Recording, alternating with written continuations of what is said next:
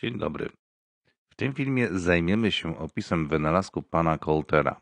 Jest to wynalazek dotyczący wzmacniaczy beztransformatorowych. W patencie, który został zgłoszony do Urzędu Patentowego Stanów Zjednoczonych w 1949 roku napisano Wynalazek dotyczy nowego obwodu wzmacniacza z lampami połączonymi szeregowo. Cenną cechą tego obwodu jest zdolność do dostarczenia większej mocy do obciążeń o niskiej impedancji niż było to ogólnie możliwe do uzyskania dotychczas w obwodach z lampami ze stanu techniki na rok 1949.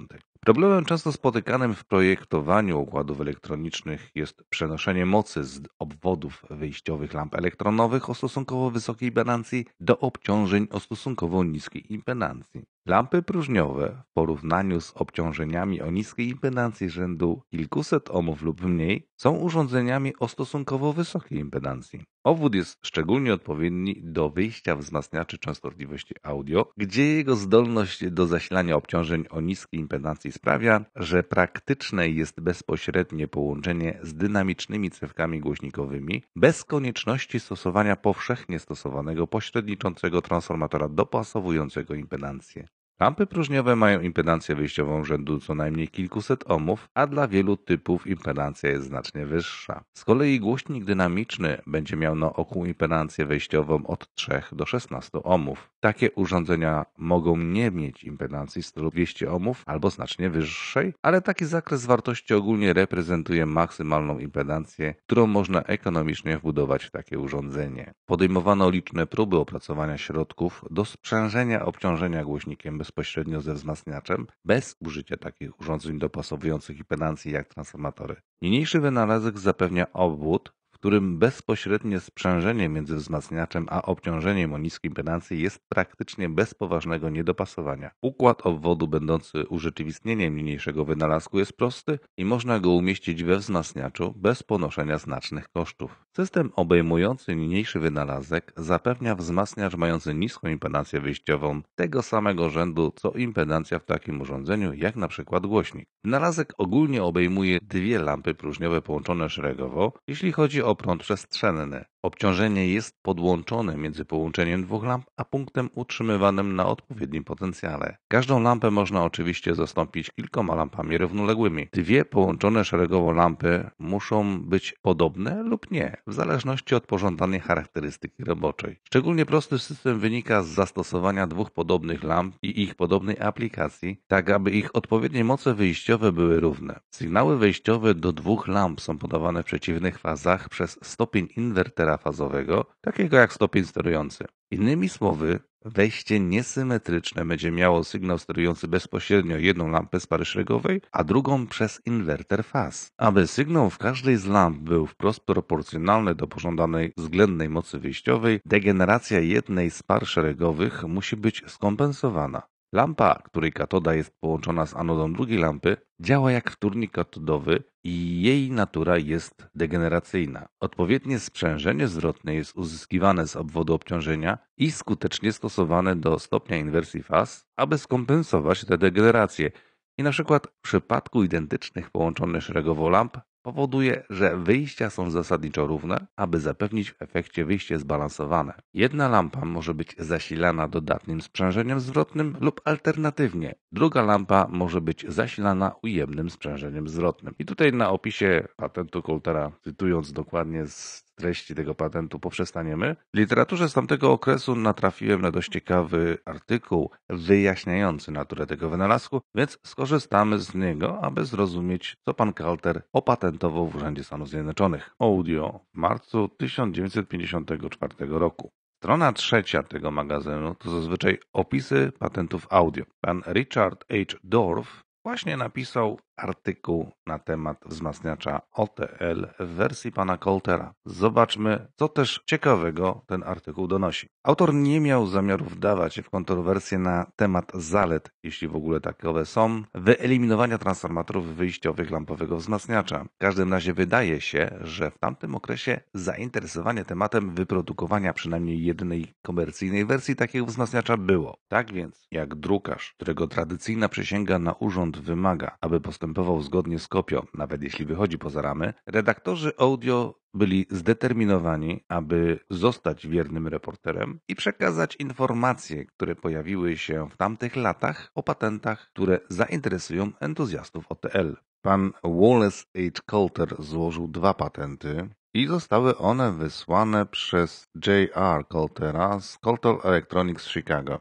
Pierwszy z nich był brytyjski, drugi zaś amerykański. Oba obejmowały ten sam wynalazek. Być może kogoś zainteresuje fakt, że patent brytyjski o numerze 688273 został złożony rok później niż patent amerykański o numerze 2659775, ale został wydany jakieś 8 miesięcy wcześniej. Patenty dotyczą typu obwodu wyjściowego, w którym zastosowano szeregowo połączone dwie lampy mocy. Rysunek ten przedstawia ogólny schemat tego rodzaju obwodu, typu, który istniał w dotychczasowym stanie techniki i na którego schemacie pan Kalter zastosował swoje ulepszenia. Działanie obwodu nie jest trudne do zrozumienia. Bez sygnału wejściowego do stopnia i z identycznymi lampami i opornikami katodowymi dla lamp V1 i V2 oraz identycznymi źródłami zasilania B1 i B2, baterię pokazano tylko dla ułatwienia, mamy zbalansowany układ mostkowy i przez obciążenie nie płynie prąd. Prądy z zasilacza płyną jednakowo przez dwie lampy i przez obciążenie w przeciwnych kierunkach, także wypadkowy prąd płynący przez obciążenie wynosi zero. Kiedy sygnał jest doprowadzany do uzwojenia pierwotnego transformatora, jest on doprowadzany do dwóch siatek w przeciwnych fazach. Jedna siatka przechodzi w stan ujemny podczas jednego okresu w stosunku do swojej katody, podczas gdy druga jest dodatnia w stosunku do swojej katody. W ten sposób prąd zmniejsza się w jednej lampie, a w drugiej rośnie, w wyniku czego w obciążeniu nie występuje już tłumienie i pojawia się w nim sygnał obwodu. Podczas następnej zmiany asymetria jest w innym kierunku, tak że sygnały asymetrii w obciążeniu zmieniają się w fazie, aby wytworzyć prawdziwy sygnał wyjściowy prądu przemiennego. Kondensatory obejściowe C po prostu zapewniają ścieżkę o niskiej impedancji wokół zasilaczy.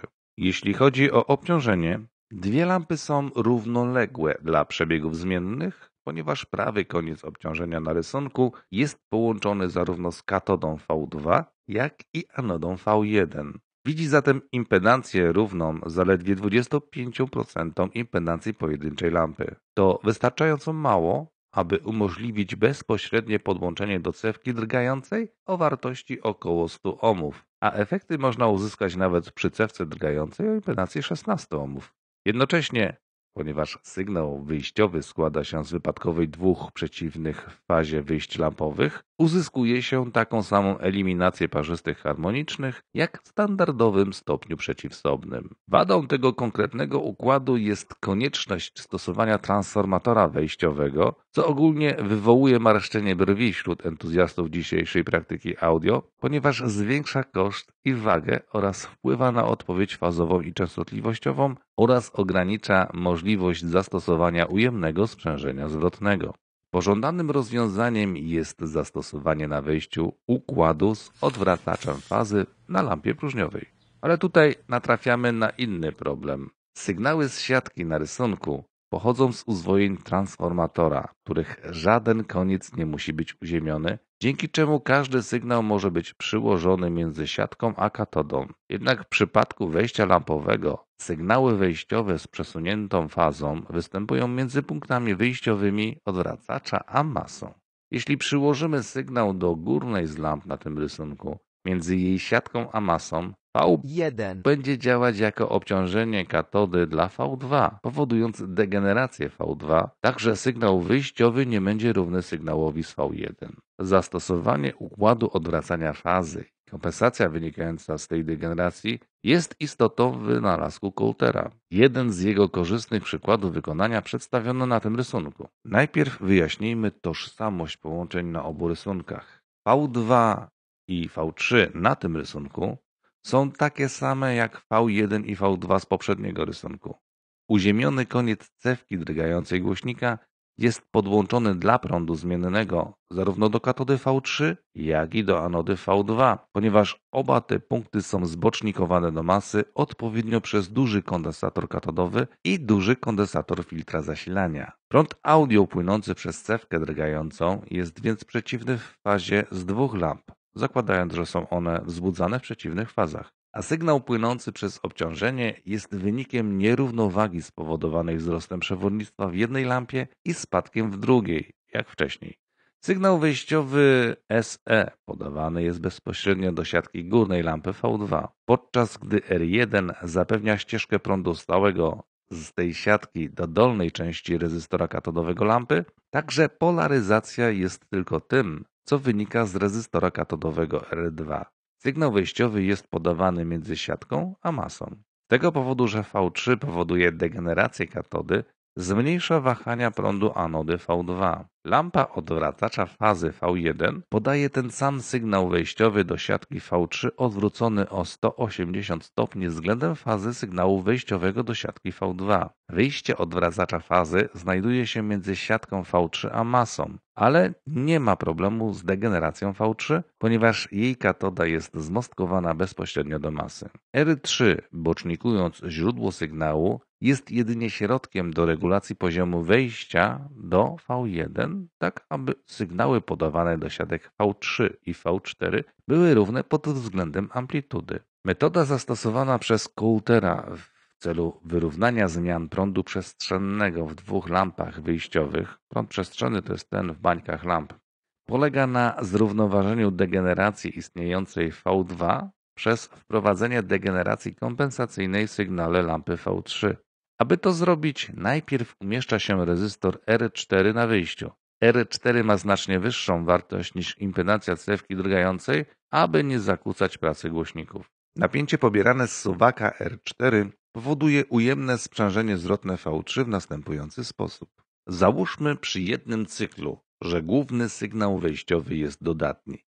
Jest nakładane na siatkę V2, co powoduje, że anoda V2 jest ujemna.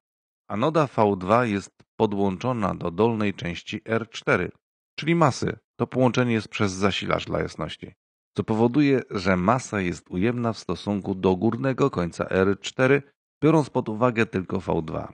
Zatem V2 sprawia, że górny koniec R4 jest dodatni w stosunku do masy. Ten sam główny sygnał wyjściowy jest odwrócony w fazie przez V1, umieszczając sygnał ujemny na siatce V3.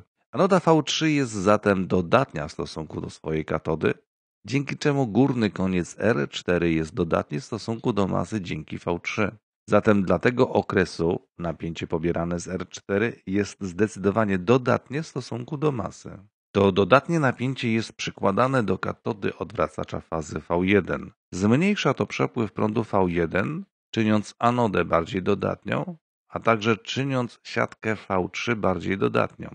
Ponieważ jest to przesunięcie fazowe o 180 stopni z oryginalnym sygnałem pojawiającym się na siatce V3, stanowi to ujemne sprzężenie zwrotne dla V3, ale nie wpływa na V2. Suwak R4 jest tak ustawiony, że jego ujemne sprzężenie zwrotne do V3 po prostu kompensuje degenerację katody narzuconą na V2 przez V3, przy czym działanie jest symetryczne, a pełne zalety obwodu połączonego szeregowo są realizowane bez transformatora wyjściowego. Pan Coulter Jr. z listu załączonego do kopii patentowych mówi, że wierność tego układu jest lepsza niż stopni wyjściowych przeciwsobnych sprzężonych z transformatorem. Pojedyncza. Duotrioda 6AS7 dostarczy od 8 do 10 W do 150 ohmowej cewki drgającej z wiernością co najmniej dobrą, tak jak obwód Williamsona. Inny przykład wykonania pokazany w patencie jest przeciwieństwem tego pokazanego na drugim rysunku, ponieważ dodatnie kompensujące sprzężenie zwrotne jest stosowane do górnej lampy, a nie ujemne do dolnej.